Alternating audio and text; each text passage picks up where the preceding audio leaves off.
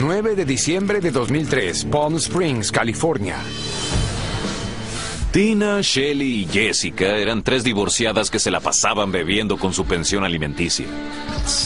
Por los malditos. ¡Salud! Y si se acababa el alcohol, se turnaban para ir a buscar más.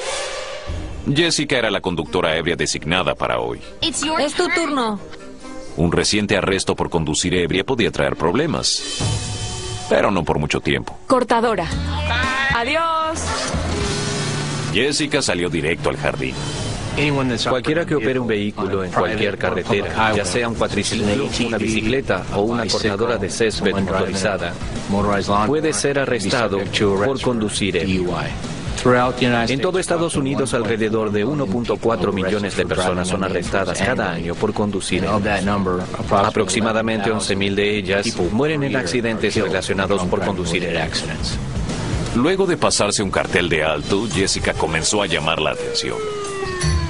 Señora, por favor, detenga el tractor. Por favor, apáguelo.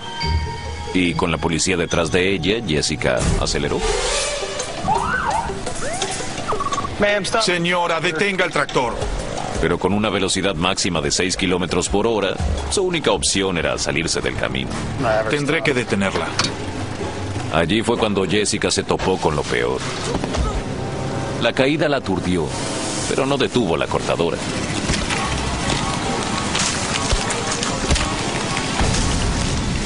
Esta potente cortadora de 3.200 revoluciones por minuto con hojas de 50 centímetros atravesó sus tejidos, sus arterias y sus huesos y al hacerlo solo bajó a 2.800 revoluciones por minuto, fuerza suficiente para cortar el resto de su cuerpo, le trituró y provocó hemorragias en tan solo segundos. Para cuando llegó el policía, la borracha ya estaba muerta. Número 618, conductora podada.